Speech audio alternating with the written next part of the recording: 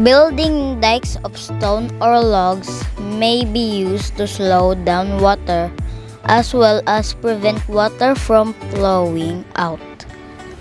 The dikes prevent soil from being washed away by rain.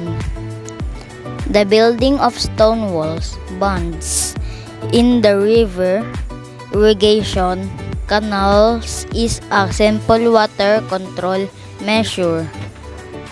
Rainwater gets trapped trapped behind the stones and this allows the water to percolate, soak into the ground rather than running straight downhill. This is most effective on gentle slopes.